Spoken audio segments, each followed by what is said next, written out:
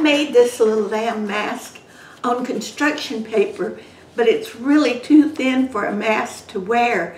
So if you make it on construction paper, you need to glue it onto something a little bit thicker, maybe a paper plate or the uh, inside of a cereal box or even a poster board.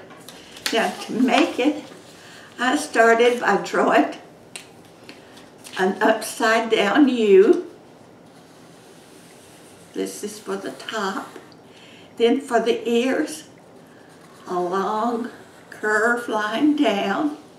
Then for the other ear, the same thing. Then for the rest of the face, like this. Then for the nose and mouth part. And then for the eyes. For this part up here, I glued uh, cotton balls. After I glued the cotton balls, then and I knew that they were stuck good, then I pulled them together at the top so that it would not look just like cotton balls that were glued there. Thanks for watching. Remember to always be kind to others and please click the subscribe button.